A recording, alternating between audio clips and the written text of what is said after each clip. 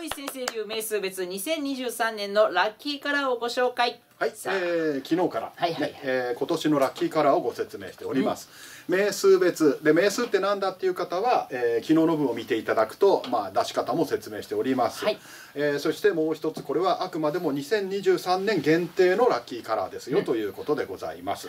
で昨日はまあその身につけるとこういいよっていう話もしましたけれども、まあえーそれだけに限定したものではなくって、はい。例えば何かこうね、えー迷った時に、えー色でもし選べるものならば、えーその色をね、えー選べばラッキーだよというふうそういう使い方もできますしあの必ずしも身につけるばっかりではなくって、えー選択肢としても使えますよということになりますので。はい。はい、で、えー今日は名数456の方を発表していきたいと思います。ます。えーまず名数、えー、と4の方になりますけれども、えー真っ赤赤です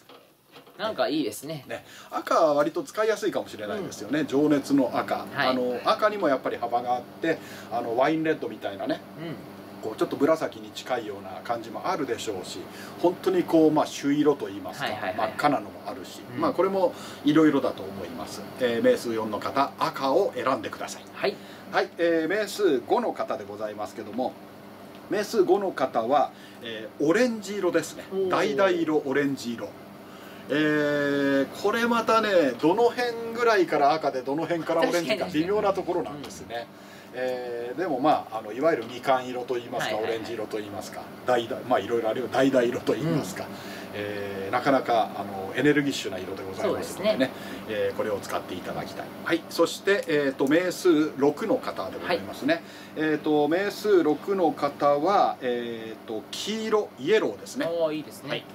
えーまあ、これまた、あのね、レモンイエローというようなちょっと薄い感じの黄色から、えーかなりオレンジに近いような黄色まで、えー濃い黄色というのもありますし、えーいろいろまた使ってみていただきたいと思います。うん。えっ、とまあ好きな色嫌いな色ってあると思うんですけれども、あのーまあ嫌いでもですね今年は、えーそれが使えるんだというふうに考えていただいて、えーまあ使い道を工夫するのはご自身でいろいろやっていただきたいと思いますので。そればっかり身につけないといけないってわけではないですか？らそうですそうです、はい。むしろあのなんかいつも持って歩いてるその手帳のねカバーであるとかですね、えー身につける何かアクセサリーでもいいですけども、うん。そういったものが、えーポイントでパッと目立つ方がラッキーというのは聞きますので、はい。えー